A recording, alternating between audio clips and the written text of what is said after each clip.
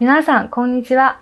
今日は日本の芸能人をご紹介したいと思います。13歳の時に桜大戦がきっかけで声優業に関心を持ち、進路を考える17歳の時に声優への志望を強め、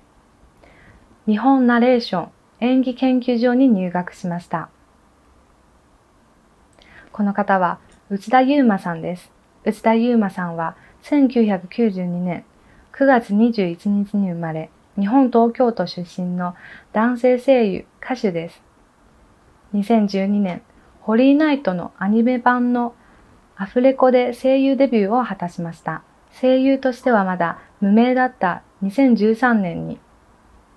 杉田俊明さんに誘われて、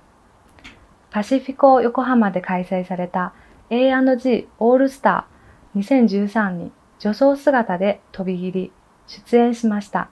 2014年、ガンダムビルドファイターズトライの高坂優馬でテレビアニメ初主演しました。2017年、第11回声優アワード新人男優賞を受賞しました。同年の秋、光栄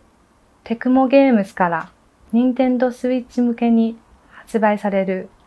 Fire Emblem と無双シリーズとのコラボ作品 Fire Emblem 無双で姉のマーサとダブル主演を果たしました。2018年5月30日、キング・アムセメント・クリアタイブよりアーティストデビューしました。2019年3月9日、第13回声優アワード主演男優賞を受賞しました。